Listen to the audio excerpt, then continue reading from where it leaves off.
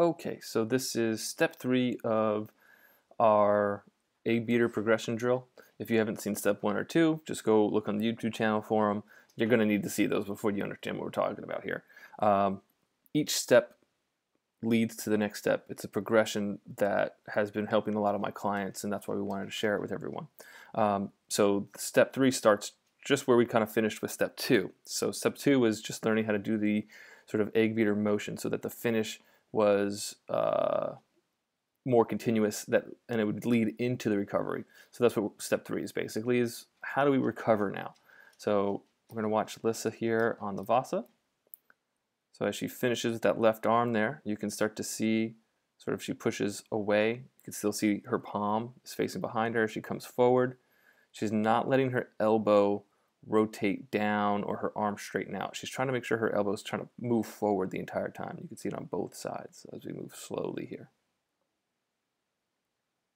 So it's not about necessarily uh, extending or reaching. It's more about trying to set an anchor point as far out as front as you as you can versus how far can you reach. Those two things don't always equal the same. Um, just because I reach far doesn't mean I'm going to set an anchor point far. Uh, and, and, more likely, the further I try to attempt to reach, the more likely I'm not going to set my anchor point very far because I'll, I'll overextend through my, my elbow. Uh, and so that's what we're trying to learn is, is, how do we set a good catch from having a good finish and a good recovery and a good entry.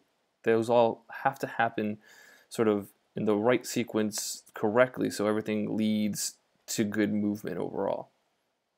So from this front view, you kind of see that she's taking a little bit of a wide recovery on the bench because she's not rotating. So we have to use our imagination a little bit here.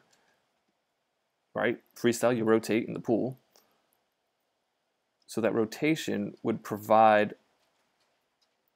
some extra mobility that she can't or should not even try to do on the Vasa. Um, so make sure you don't try to pick your elbow up high like you're trying to swim.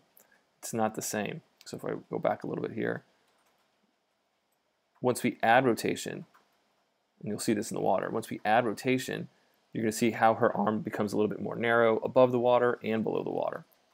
All right, so let's see what it looks like when she goes into the pool to swim.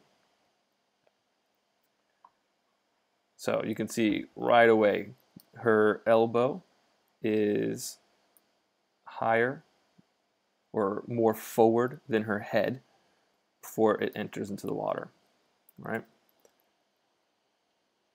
So as she comes through, you can see how she's pushing away on that left side. You can see, see her palm. You see how her arm is much more narrow than it was on the bench. It's only because of rotation. She's not actually trying to make it more narrow. Okay? So it's okay to practice a wide recovery on the bench. You can see how she keeps on this right side, how she exit exits the water with a good paddle. The back of her palm basically is facing towards the camera. And that good paddle goes into a good recovery. I like to see a recovery where the elbow is off center from the body because if the elbow is directly on top of somebody, um, it, limit, it, it, limits mobility. It's not going to be very safe for your, your shoulder. Um, but it also will make you sink because if you have weight directly over you, it, it will make you sink. So moving forward, kind of see how this all works together. So here is it in real time. So one step goes to the next step, goes to the next step. It's really important to take your time during this progression. All right, so just from the front view, you can really easily see from the front how that elbow is trying to stay forward as she enters the water. Using her hip to help her elbow enter the water. under the water. You can start to see how she's going to generate her paddle. See that that that's the paddle that we worked on in the very first video, making sure that her forearm and her hand are pushing back. So it keeps pushing back. until she exits. And then when she enters again, you can see very easily her fingertips are the first thing to enter the water, and her forearm, then her elbow.